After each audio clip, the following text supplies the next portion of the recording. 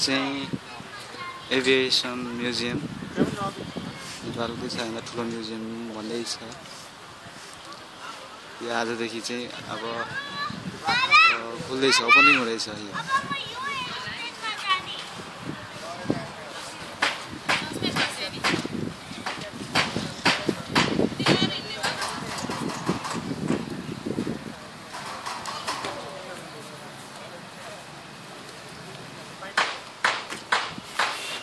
Aviation museum छ अझै कार्यहरू बन्दैछ अझै बनिसकेको छैन। त्यहाँ बिच उब्रेती सरे हुन्छ त्यहाँ।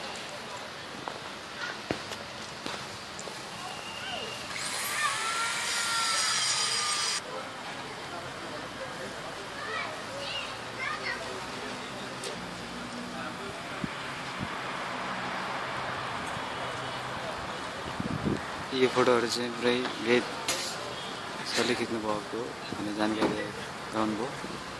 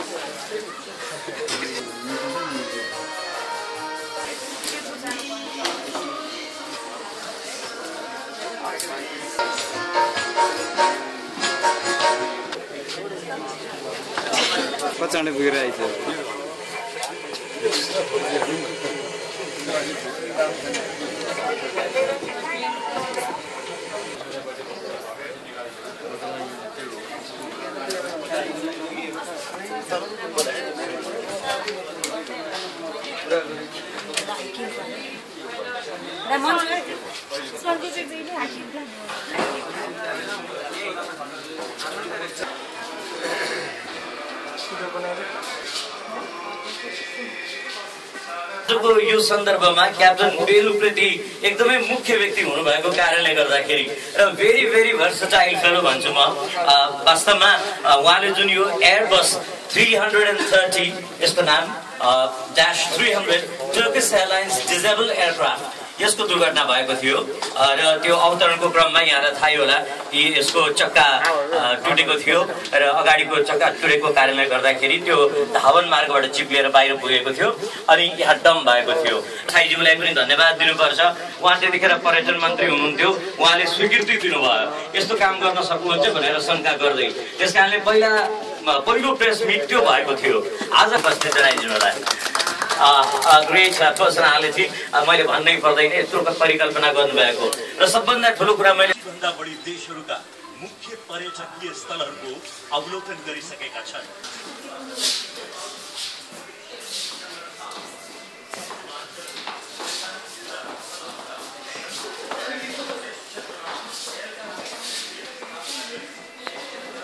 mm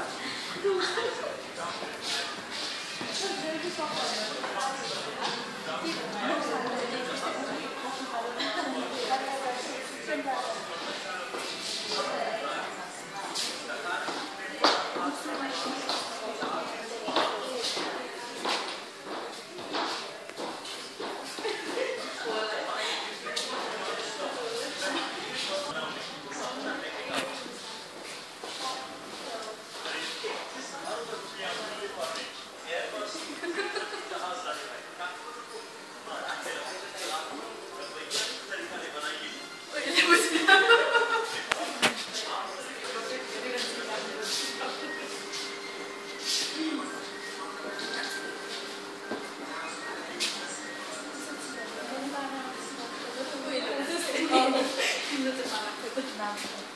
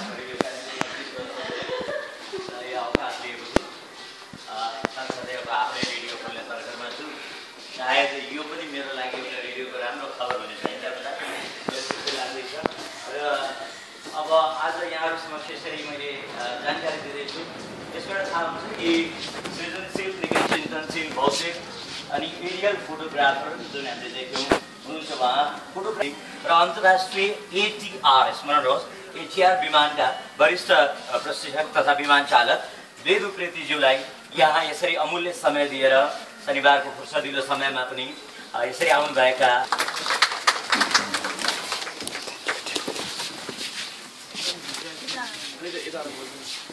ठिक छ डिप्युटी जनरल। वीरेन्द्र सर नत्र भने चाहिँ मैले चाहिँ नगरकोटमा आरामसँग त्यसलाई लगाउन सक्थेँ।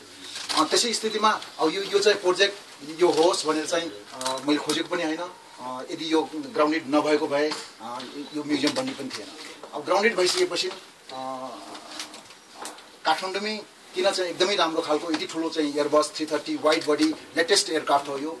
ग्लास ककपिट म्याक्सिमम् पेसेन्जर चार सय चालिसजना अट्न सक्छ चार सय चालिस कुन बेला अट्न सक्छ भने चाहिँ यदि यो बिजनेस क्लास भएन भने चाहिँ चार सय चालिसजना अट्न सक्छ यसमा।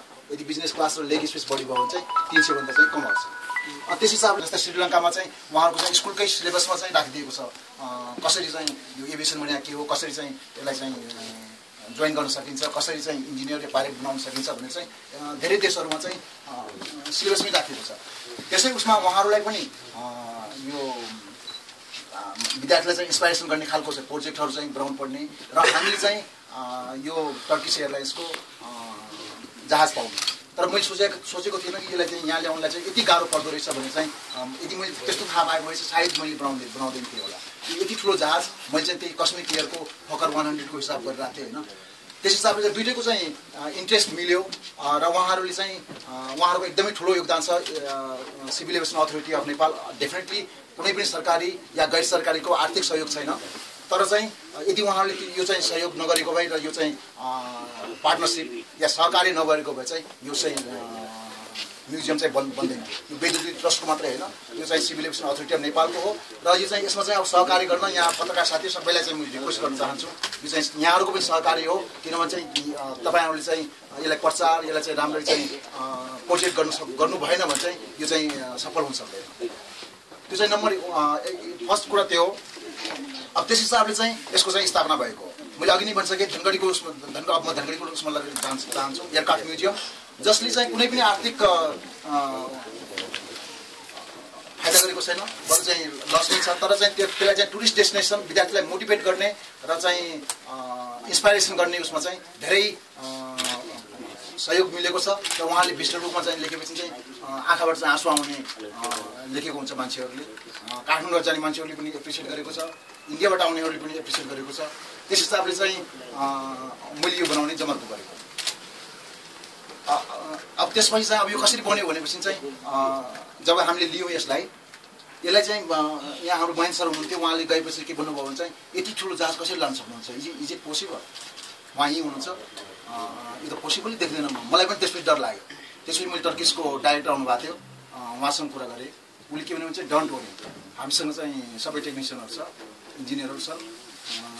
म बोलाइदिन्छु। भनेपछि चाहिँ हामीले डिल गऱ्यौँ। यो चाहिँ डिसमेन्टल प्लस एसेम्बल गरेको चाहिँ एक लाख डलर चाहिँ हामीले तिरेका छौँ उनीहरूलाई। यो ठुलो रकम थियो तर चाहिँ त्यो बाहेक अरू कुनै उपाय थिएन। यसलाई खोल्न नै हामीसँग इन्स्ट्रुमेन्टहरू छैनन् इक्विपमेन्टहरू छैन। त्यसैले उहाँहरूले चाहिँ आएर पहिला दुई महिना खोल्नुभयो अनि घर जानुभयो। यो चाहिँ नोभेम्बरमा नौ यही लास्ट इयर यही यही महिना आउनुभएको थियो।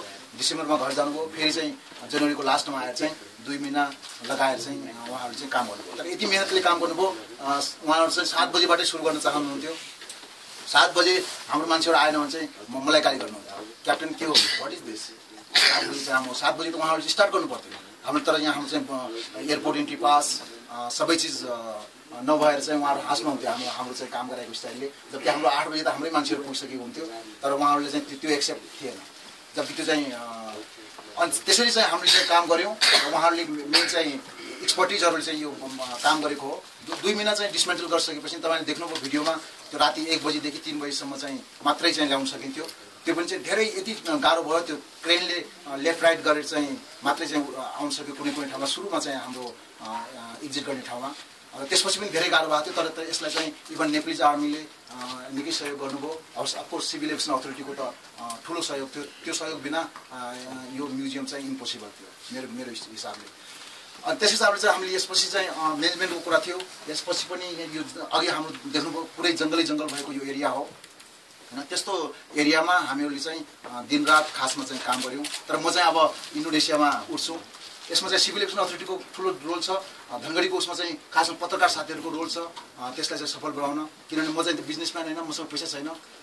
के अरे प्रचार प्रचार गर्न होइन?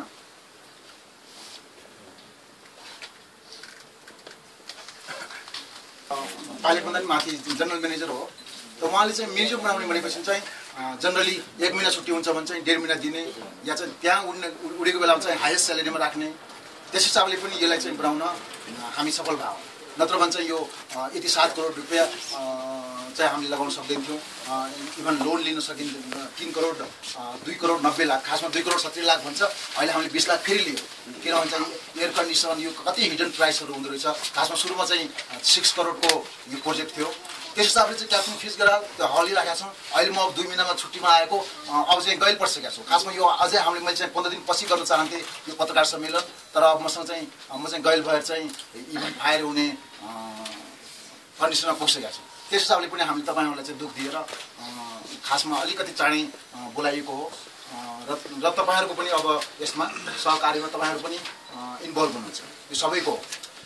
अब यसरी चाहिँ अब यसको मुख्य उद्देश्य। यसको चाहिँ मेन चाहिँ के हुन्छ भनेपछि नेक्स्ट जेनेरेसनको लागि नेक्स्ट जेनेरेसनमा